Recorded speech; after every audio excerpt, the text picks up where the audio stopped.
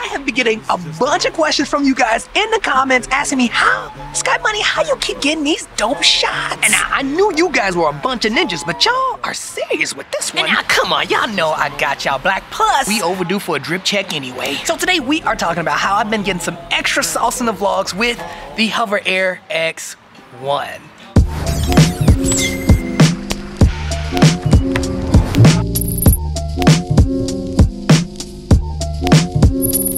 And a quick disclaimer, Hover did send me the Hover Air X1, plus they are also partnering today's drip check. Boss! But hold up, pimpin', don't get it twisted because they not telling me what to say, plus y'all know everybody could get the smoke. But also, not for nothing, it's actually really good. like, I'm just being real. I'm just Super Saiyan.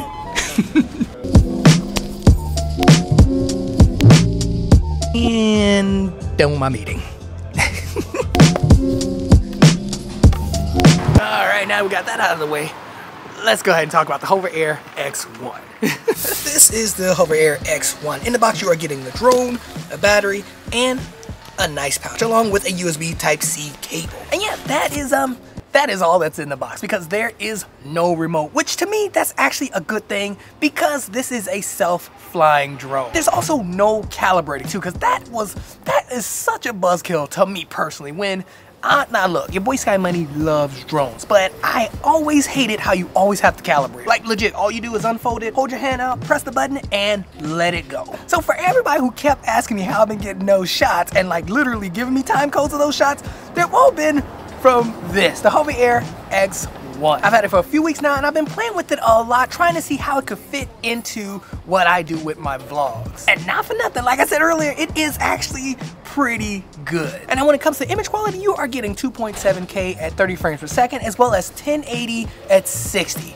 And now, you're not getting 4K but I think that is actually a plus. And the only reason I say that is because the type of shots you'll be getting from the Hover Air X1, you can get away without having 4K, and the 2.7K looks boss. And now when it comes to build quality, it's pretty solid. It's made out of plastic, has some guards on the side so that if it bumps into anything, nothing gets hurt, you won't cut yourself.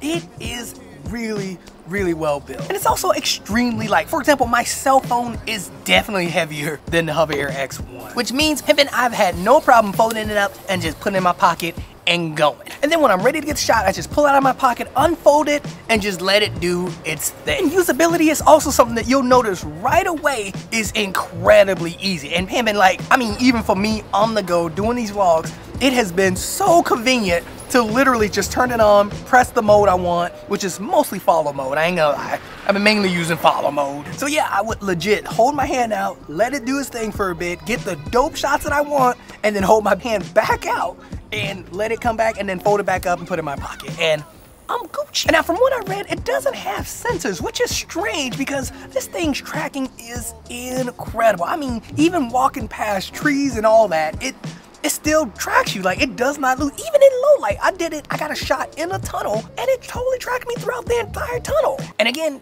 it doesn't have any sensors. And now, although it does not have remote, you can use your phone as a remote in manual mode. But to be honest, again, this is more of a self-flying drone. So I I wouldn't even recommend using it in manual mode unless you have to. I mean, I have popped it in manual mode just to get some like low to the ground, like tracking shots, but for the most part, I'm mainly leaving it in follow mode. And when it comes to battery life, you are not getting that long of a flight time. You're getting maybe 15 minutes. I mean, that's what I've been seeing when I've been getting my shots is average around 15 minutes, which in my opinion is more than enough time to like just get the quick shots that I need for my B-roll for my vlogs. And if you do want flight times longer than that, I would highly recommend getting their extra battery along with the charging hub. But in my opinion, I don't think you really need it. I think one battery, 15 minutes is all you need to get the shot that you're most likely gonna wanna get. Cause to be honest, I haven't really ran out of battery unless I was just trying to test it to see how long the battery would last. That's pretty much the only time I've ever ran out of battery. For the most part, when it comes to getting the shots that I wanted, I was able to just toss it up, get it, boom, boom, and I was Gucci. But that's just my opinion. And now since this is a self-flying drone, it comes with different modes. You have modes like bird's eye view, you have hover, you also have follow mode, which is the mode that I use the most. You also have dolly, orbit, and zoom out. But the mode that I, again, tend to use is follow mode because I like to just press the button and let it go and then get some tracking shots of me walking or riding my bike. And I've also been playing around with dolly mode as well, but follow mode is still my favorite. And follow mode basically allows the drone to follow you from the back, while dolly allows it to follow you from the front. Then you have orbit, which will basically take the drone and make it orbit around. With zoom out mode being exactly what it says, which is the drone will basically go up and fly away from you, getting that kind of like zoom out shot. And now all the modes also have icons on the drone itself, and you forget it will just tell you what mode you're in when you select your mode. Mouse. And now one thing to know is that it's not supposed to go over water. They do not recommend flying this over water, but pimping, I, I flew it over water. I mean, that's how I got this shot right here.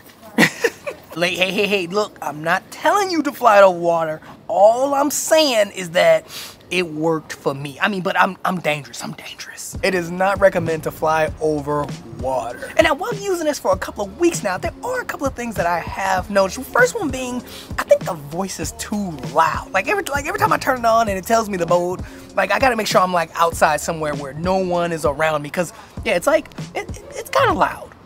Hover, zoom out, follow. And then lastly, I think the footage is too sharp. But like I said earlier, you can always soften it in post to get the look that you want. But overall, the image is image quality is actually not bad. Now, will it replace any of your heavy hitter drones like the Mavic Pro or the Mavic Air? Of course not. This is not what, that's not what this is about.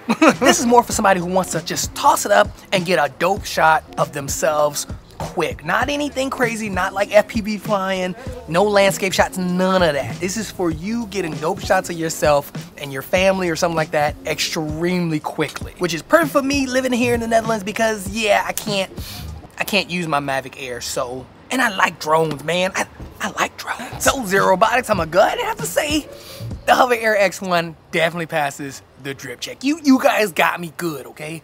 Y'all got me good. So huge shout out to Zero Zero Robotics for sending the Hover Air X1 over and also thank you so much for being a partner of today's drip check. And if you want to check out the Hover Air X1, there is a link in the description down below. Check it out. Let me know what you think. Let me know if you like it, don't like it. But if not, that's cool. Y'all already know I ain't a hater. And now I need to get back to work. And yes, I had tea today. I, uh, telling y'all, I've been sick. Oh, goodness.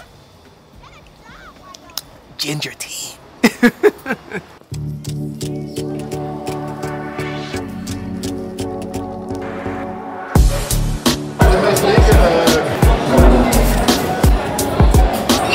Time to get up out of here.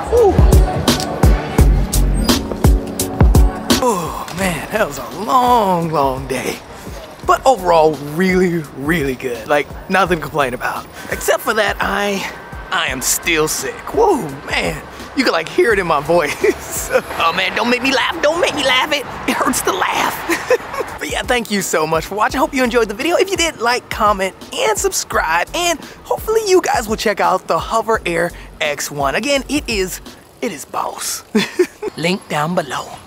and if you also want to help and support the channel, you can also buy me a coffee, which also has a link down below. But if not, no tea, no shade, because y'all know I ain't a hater. My hood never let me be a hater, even when I'm sick.